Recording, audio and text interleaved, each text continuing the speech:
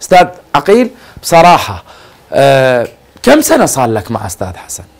أستاذ نبيل تعرف هذا تاريخ يمكن 33 سنة آه، من عام نهاية عام 89 وبداية 90 وتكلفت من اتحاد رفع الأثقال كان آه، رئيس اتحاد الله يذكره بالخير المرحوم صباح عدل يمكن كان استاذنا بالجامعة وكان هو رئيس اتحادنا بالبداية رفضت بأنه شنو هذه الفعالية وما عجبتني الشغله قال لي شوف جرب أنت وشوف إذا عجبتك.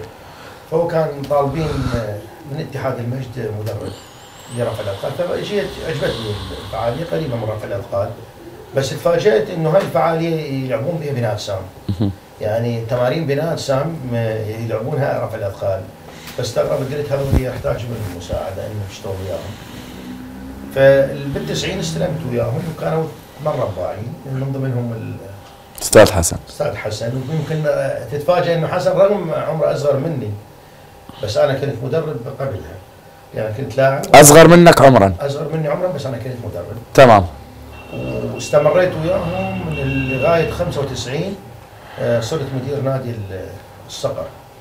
واستلم بعدي آه، الأخ انترانيك دكريس وبعد 2003 آه، أنا رئيس اتحاد رفع الأثقال واشتغلنا أنا واستاذ انترانيك إلى غاية اليوم. أنا مسؤول على رفع الأثقال.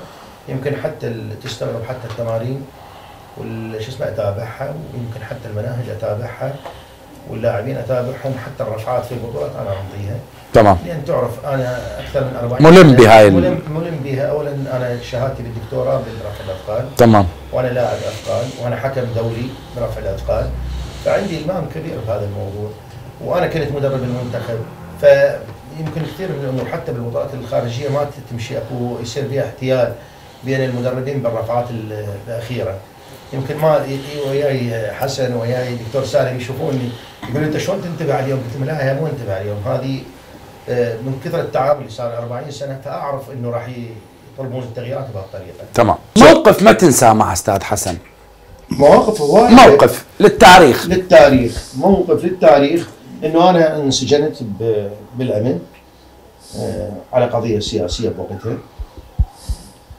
آه، من طلعت من السجن آه، الكل تخاف تعرف ما دام كانت ما دام السجناء السياسيين صعب فكان الوحيد يتواصل وياي الله يرحمه خالد رشد وحسن الله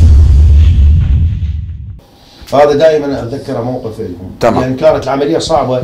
إنه اللي طالع من السجن مراقب وأنا كنت فعلا مراقب. تمام. فكان حسن يتواصل وياي والله يرحمه خالد رشد كان تمام. بس أنا بس أقول كلمة أخيرة. إن المعيب على الدولة تسوي قانون ومحافظات أو مجالس كانت مجالس محافظات وكانوا محافظين انهم يمتلكون قطع الأراضي وانتهت الفترة مال الأبطال. يعني أنت مسوي القانون للأبطال الأبطال أغلبيتها انتهت ال 80% ما استلموا الأراضي. وأعتقد هذه مو صحيحة ومو سليمة. والدولة من تقر قانون ومجلس النواب صادقة ورئيس الجمهوريه صادقة وأنت ما تعطيه قطعه الأرض عشر سنوات وانتهت الفترة مالتهم واحد من عندهم حجي حسن. يعني هاي هذه معيبة. مو بس معيبة. يعني هذا هذا استهزاء بالقوانين اللي قررتها الدولة وشرعتها الدولة واللي قرها مجلس الوزراء واللي قرها واللي صادقها مجلس النواب واللي وقع عليها رئيس الجمهورية. أعتقد مو صحيح. تمام.